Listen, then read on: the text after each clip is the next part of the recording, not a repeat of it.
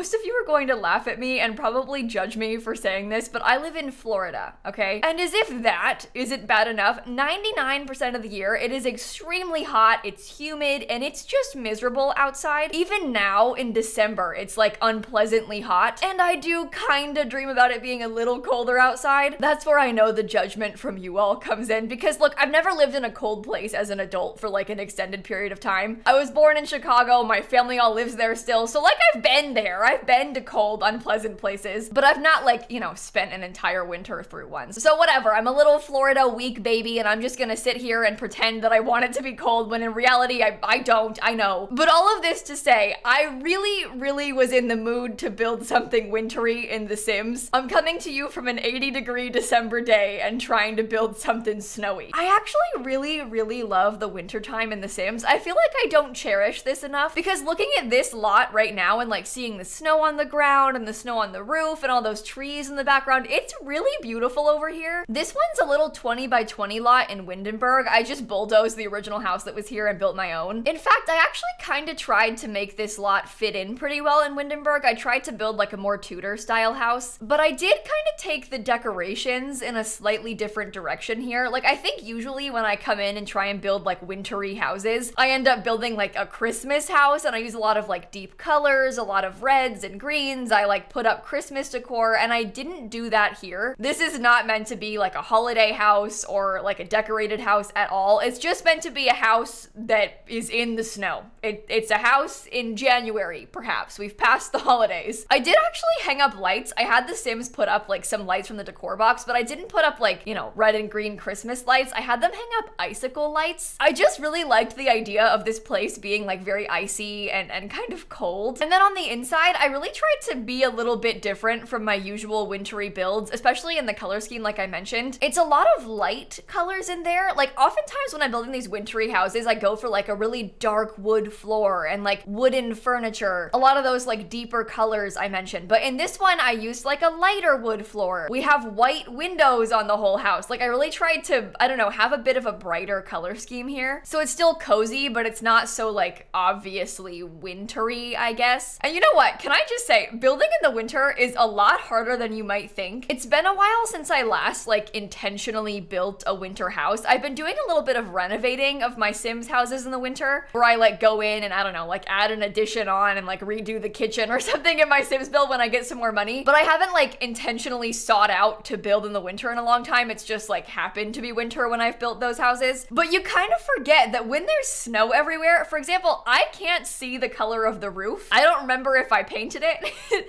Maybe I like missed a spot and didn't realize because it's all white. You also can't see like the flooring I put down to mark the pathway to the front door. You can't tell if you're putting terrain paint down because it's covered by the snow. You also can't really tell how the landscaping looks because there's like winter versions of all of the plants. Versions that like obviously aren't flowering or maybe look a little bit more dead. So it's just really different like building a house specifically in the winter because I'm not really sure how it's gonna look when the snow melts. Don't worry, I did actually go back in and tested it. Like I went to Manage Worlds and came here in the summertime just to triple check that it all looked okay. And it does. The icicles are kind of weird in the summer, but the rest of it's fine. The landscaping is all very simple, so it, it totally works okay in the springtime and everything. It was weird though because I kept wanting to put like stuff outside. Like usually in my Sims yards, I'll put like, I don't know, a pool or or like even a table and a grill. And I still wanted to do stuff like that here. It just felt kind of silly because like your Sims are not sitting out in that snow to be like reading a book or something. I did end up putting a little fire pit by the house, which I think is perfect. I did end up putting a little fire pit by the house, which is actually kind of perfect, but there isn't like a swing set or anything like that for the kids to play with. In fact, the house is actually quite small on the inside. It only has two bedrooms upstairs, so there's not really a lot of kids living here anyway. I love building these like sort of smaller, cozier houses for my Sims. I think it's so much fun, but I guess practically this is probably not the most playable house given the fact that it's really expensive, kind of small, and also specifically designed to only look good in one season. Like I said, it's okay in the other seasons, but this one is really built for winter. And she's not made to be in the fall, for example. I actually built this live on my Twitch channel the other day, and don't tune me out, okay? Because this might be a Twitch plug, but I've got good reason because the day that I'm posting this, I'm actually live on Twitch doing a charity stream. We're gonna be live all day playing Sims. I've got some plans for like a seven toddler challenge and a couple Sims builds. We're We're also at one point gonna do crowd control sims, and that's where when you donate, you can like spawn a fire or like add a sim into the house and it will add a sim to my household with your name. It is absolutely the most chaotic thing I have ever done. When I did it last time, it was a nightmare. As you can probably imagine, the game kind of like glitches out when it's got so many sims being added and so many things happening. So I would have like 30 sims in the household. Somebody would start a fire, someone would catch on fire, and then like all of the sims would refuse to put the fire out. And then they would like glitch and just be stuck standing there and they would all die. They would all die in the fire. I would have these like death waves where like 20 sims would all die in a fire to the point where like even the Grim Reaper would glitch out and he wouldn't reap them because there was too many. It was just a nightmare. So if you want to come by and hang out, I'm gonna have my Twitch channel linked down below. At the time I'm posting this, I'm gonna be like just going live. So hopefully I'll still be around when you catch the video. Like I said, it's gonna be a lot of fun, but it's also a charity event. I'm gonna be raising money for AbleGamers. They do some really, really cool things. Their whole mission is to make it possible for everyone to be able to play video games. So they're working to make games more accessible. They help provide disabled people with like really cool specialized controllers or like other assistive tech. Obviously, depending on your disability, you might have different needs. So think like controllers that work with foot pedals or an adaptive one that's got extra buttons on one side so you can play with just one hand. There really is like such a cool range of extremely impressive tech out there now. I'm gonna link some information on AbleGamers down below if you wanna go check out their stuff. You also might happen to know someone in real life who might benefit from them. AbleGamers means a lot to me and I really, really appreciate what they're doing. I mean, I think all of you can probably relate. Gaming has made such a positive influence on my life. I mean, it's literally changed my life. I met my husband because I play video games on Twitch, right? So having that escape, having like the social network that comes from playing video games is so important and it's so life-changing for so many people. It's really cool how AbleGamers is working to make that possible for everyone. So with that being said, I'm doing a charity stream for them today. Please, please don't feel like you have to donate, but if you do want to, I'm gonna have all that link down below for you too. But you can also just come hang out with us. I mean, just hanging out in the stream and helping to like spread the word makes a huge difference. And I'm really not just saying that, I like really truly mean it. But anyway, we are making some serious progress on the furnishings of this build. This floor plan was kind of a weird one because for this style of house, I almost wanted it to be like a slightly more closed off floor plan. I feel like that kind of fits these older homes. But in practice, it just didn't really feel like it was big enough for that. It was kind of hard to, to fit in extra rooms. It just made more sense like walking space wise to have the whole place just be open. I also really, really tried to fit in a second bathroom. I always want to have a bathroom like on the first floor in houses like this, or at least have like some sort of guest bath or like a half bath that just has a toilet and a sink or something. But I only managed to fit one upstairs and that's fine. A house like this, a two bedroom house having only one bathroom is like totally fine, obviously. It's just nice in The Sims to be able to fit in like as many amenities as possible, you know? So I wanted to fit one down here. It just, it just didn't really work. So darn, I guess my poor two Sims will have to survive with just one toilet. But actually though, considering that this house is for like two or three Sims, they've got some nice space downstairs. Downstairs we have like kind of a kitchen nook. There's a beautiful little dining nook. We have a big living space in front of a fireplace and there's like a little study nook downstairs. I managed to make it all pretty usable. I also kind of had this like light blue and light green color scheme going on. So I tried to warn you, the colors were a little bit different than what you might expect out of a wintry house. The kitchen especially is like kind of screaming spring, which is maybe okay. It's kind of fun to like try and make this like sort of obviously springy color scheme work for this like winter build. Green can definitely be like a wintry color, but it's more of like a forest green or like an emerald green and not so much this like little pastel green. This one is like is pretty pretty much definitely a spring color, but I made it work. It looks kind of cool. I also tried to use some of the holiday free pack decor like those little trees and there's like some cute candles and stuff because those things don't scream like actual holiday. They kind of work for just like general winter decorations, I feel like. I also just tried to put a bunch of kitchen clutter in general. There's like a chicken. I've got like some pots and stuff everywhere. I feel like this shape of the kitchen is really quite cool though. I also put a shelf like above the window, kind of in the middle there with like some cookies on it and stuff. I don't know. I just wanted to really feel like people actually lived here. I always try and aim for that, but I think especially after the clutter kit came out, I've been like really inspired to make my homes very cluttered. it's like really spoken to me, I think. There's some kind of cute stuff you can do that. Like there's those little dirty mugs that came with the clutter kit. I kind of like hid them underneath the dish rack. I tried to put like plants and pots and stuff everywhere. Oh, and then on the outside of the house, I really, really wanted to have a fire pit. I just didn't know like what color scheme to go for. I kept trying to use one from that little campers kit, and I think the fire pit itself is okay, but I really struggled with what seating to put. I was like, should I do benches? Should I do like a cushioned seat? But like realistically, you probably wouldn't leave cushions out in the snow like that. Like maybe you would bring them out and sit on them and then bring them back inside, but you wouldn't like leave cushions in the snow. And I don't think they would have like a log here. So I just I kept going back and forth like really struggling with what I should put on these. And then I wanted to put like some s'mores there, but it wasn't fitting. So this was kind of hard for me, the side yard. It also wasn't very big. I was trying to sneak in like a little bit of decor right there on the side of the house, and that was kind of the only place for it. And so it was tough to figure out, but I think in the end it looks cute and would also be kind of useful for something like this. Although, fair warning, when you have fire pits in your Sims builds, your Sims are so prone to setting them on fire. It's almost like unbelievable. And this is me talking, and I've got a fire toilet in my Sims house, but your Sims just like light this and then walk away, and they'll just leave it there and then catch on fire. It's it's very dangerous. You need to be careful, especially with wants and fears now, because once they have a fear of fire, they're even more likely to set more fires, and it just keeps happening. It's like an impossible spiral. So watch out if you've got a fire pit in your Sims build. I used to always worry about fireplaces and like having a fireplace next to a rug or like too close to a rug, but honestly, it's not even a problem anymore. It's the fire pits. I never have fireplace fires, but fire pits are so common. Also, I guess I should explain the fire toilet quickly. Basically, your Sims can upgrade the toilets to have this like compost container if you've got eco lifestyle. And when they have the compost container upgrade, they can spontaneously combust if you're not using the compost. Well, I first did that by accident, was so shocked by the toilet fire and thought it was so funny that now I've just kept it on purpose. I have this legacy challenge and I keep bringing my Sims and moving them to new houses and bringing the toilet with me. And we have like near daily toilet fires. It's actually kind of scary and kind of chaotic in a bad way, but it, it's a little fun. It's kind of killed like a couple of my Sims, but it's fine. It's it's exciting, you know. It, it's like um really uh riveting content, you know, when your Sim just like dies in a fire in their bathroom. Um, anyway, we're working on furnishing the living room space now. And this is where I was really struggling because I was working on this inside and I was like, this is not wintry.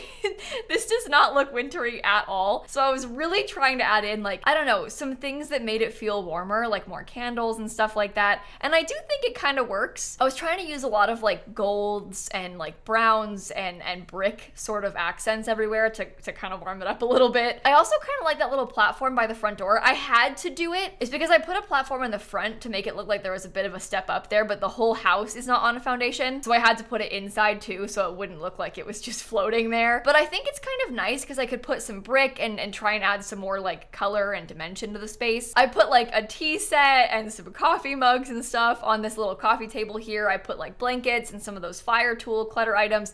I really struggle with the rug color. I went back and forth a lot trying to decide what to use, but that's kind of a theme of this though, is me being like, I, I want this to be these colors, but I'm not sure if I like these colors. I do think in the end it's okay, but I, I definitely was like, I don't know if this is really screaming winter to me, but I think that's that's the fun of it, right? I know I keep saying that, but I'm, I'm like really trying to justify it here. I think next week I want to try and build like a more wintry cottage and, and maybe do like an in-between of this sort sort of style. And the one that I did a couple days ago, I built a house a couple days ago that like really screamed Christmas. There was like garland everywhere. This one has no decorations. I want to do like a slight in between, like a little cottage, very cozy, very winter, maybe has a Christmas tree, but it's not like red everywhere. I guess I should probably also do like a, a Florida Christmas kind of build. maybe I'll do like a, a palm tree Christmas because let's be real, that's what I've actually got. My Twitch chat was asking about that too. They were like, Kayla, can you do like a Australian Christmas for those of us that don't have cold Christmases? And I was like, guys, I live in Florida. I, I know what it's like. I might not live in the Southern Hemisphere, but it, it is hot on Christmas where I live. I'm trying to like live vicariously through my Sims. I'm like trying to do the opposite. I don't want a palm tree Christmas. I want a snowy Christmas and I'm just, I'm not gonna have it. We always used to go visit my grandparents every year for Christmas, but in the last couple years, well, this is gonna be sad. I'm, I'm okay, but when my grandpa died, we stopped going up there. Usually my grandma is here now for Christmas. So it's just kind of weird. I'm like kind of in like a weird, um, different phase of life where things are changing and like holiday traditions are different and changing. So maybe that's why I'm like so desperately dreaming of a white Christmas. And it's not like it snows in Chicago every year on Christmas, but it has before. At least there's a chance. It certainly is not to snow here on Christmas. if it snowed in central Florida, that would actually be a disaster. Like a disaster. We are not prepared for that sort of thing. We are we have no infrastructure for that sort of thing. that would really really be bad. Anyway, I'm trying to make this little study nook here in the corner. I realized that since I didn't put a TV in this house, it would be nice to have a computer. I usually try to have at least one of those in my Sims builds just because it's so nice to like have your sim play games to get their fun up or like just watch some TV or something. I guess the computer is probably a lot more practical because you can like, you know, write or program or whatever to also build skills and make money. But on this desk, I put a bunch of clutter, some from the new clutter kit. There's like the little sticky note thing.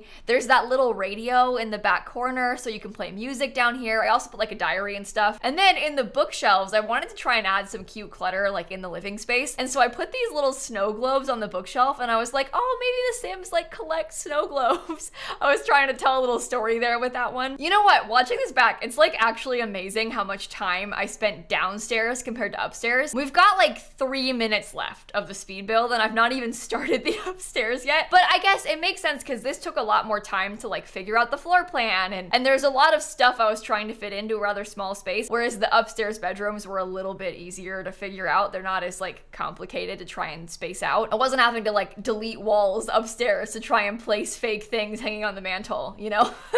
it's a lot more complicated down here. Actually, speaking of placing things on the mantle, I really wanted to have a wreath. I didn't want to have like a Christmas wreath though. I just wanted to have a wreath. I thought it'd be kind of cute. But all of them are like very springy, very Christmassy, or like too small. I tried to size up one of them and it is the one that has the blueberries on the bottom. And when you size it up, obviously it looks ridiculous because the blueberries are like this big. and you can't put that on the wall. It looks silly. Also, unsurprisingly, I have waited until the very end to paint the walls. That's sort of a tradition here. It's because I never find wallpaper that I like. So I always just like don't paint them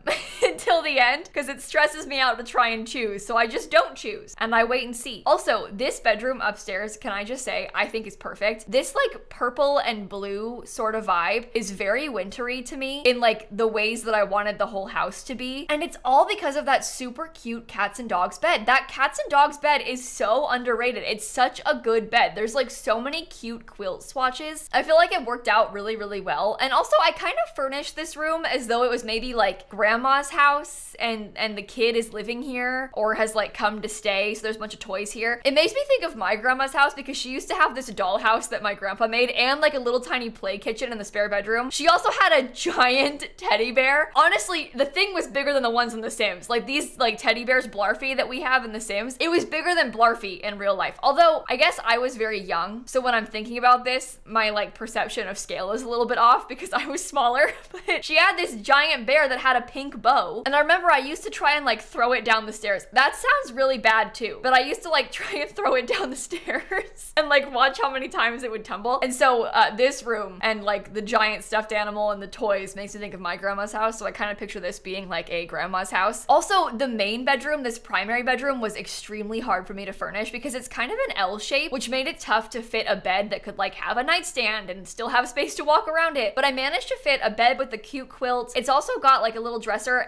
and I managed to fit in like a really adorable little like painting nook sort of area. So maybe, maybe grandma is a painter. That's how she makes her money. And her grandkid has come to stay over the wintertime. Adorable. Honestly, living my dream. We've talked about this, but this is my dream. But anyway, the house is pretty much done here. I'm just putting up some last minute, like little finishing touches and last little bits of decor. And now that the house is finished, I kind of want to pop into the game for real and show you a little tour, kind of show you around the place. It's always kind of hard to follow when I'm like speeding around and turning the camera so much, so you can't really get the full picture until I open it in game and show you. So I built this one on this lot where the free spirits live in Windenburg. I just like bulldozed their house and built my own here. And look at how pretty it looks in the snow. Like this whole world, Windenburg is so beautiful in the wintertime. These trees are just amazing. I love this lot. Like, this is probably one of my favorite lots in the game, specifically in this season. But this is how the house looks. It's got kind of an interesting roof line here, and obviously I hung up these cute icicle lights everywhere. Around the side, I put like a big chimney and some little firewood and stuff. In the back, there's like a fake balcony and just like a trash can. And then back here in the actual side yard, I know you can't see, but there's a little bit of terrain paint that leads you to like a slightly paved area right here. So you can come out this back door and you can sit here by the fire pit and you can like roast your marshmallows and make hot chocolate and stuff. I also put some firewood right here. I don't know, I thought it was kind of a cute little side yard space. Oh no, hang on. This is when it gets too close to the roof line. It makes it look like it's not snowy. It just looks dead. Let me move that. I have to keep scooting it. It keeps like, whenever I load back into the lot, it changes. It's very weird. Oh, over here, I also put like a fake gate. This fake gate is from Cottage Living, but I kind of like snuck that into the door.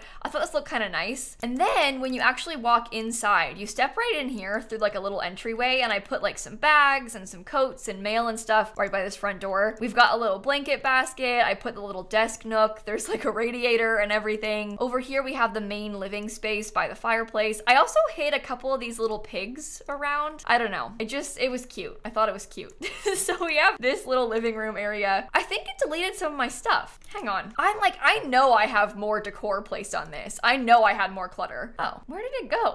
I swear I had glasses there. Whatever. There's like a book and a coffee cup there on the table. Over here is the little dining room, and I love how these chairs look with that rug. I think this with the cute gold accents and the gold light and stuff, I just, I really, really like the vibes over here. And there's the door to the outside right here. They've got a clock and another coat rack. And then back here is the little tiny kitchen nook, which I also think turned out really cute. I love the clutter in here with like the shelf and the window. There's like cookbooks and a little teapot on the stove. I don't know, it just, it feels like somebody's actually living and, and cooking in here. And then when you go upstairs, there's like a little tiny hallway, nothing too fancy. Through here, we've got access to the bathroom. I put a chicken on the wall. I don't know. It's not like a fancy bathroom. It's, it's just like a simple tiny one. Also, Oh, this bathroom is what has the fake balcony, by the way. that is a nice bathroom. Anyway, over here is the kids' bedroom. I put some cute clutter around. They've got like a little diary right here. There's a toy box. They also have this fish tank that has no fish in it and like a little pop-up book. This is the cute bed that kind of inspired the whole place. And then over here is that primary bedroom. I've got some cute clutter like some jewelry and some glasses here. We've got that main bed. This was kind of the only place that fit the bed because I wanted to have enough space to have your Sims walk all the way around it. Technically, Sims can scoot now, but I like having the bed off the wall so you can get in on both sides. And then over here in this corner, I put like a little painting nook and I also put another bookshelf and I hid some more snow globes in here. Like I mentioned, I wanted to pretend that this Sim collects snow globes. So